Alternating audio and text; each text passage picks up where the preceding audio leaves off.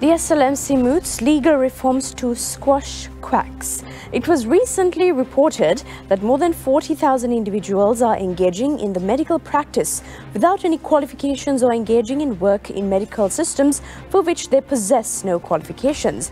While it does not currently have any authority to, to initiate action against those who engage in the medical practice without qualifications or in the medical systems for which they possess no relevant qualifications, the Sri Lanka Medical Council stated that it is making an effort to amend the, re the related legal provisions.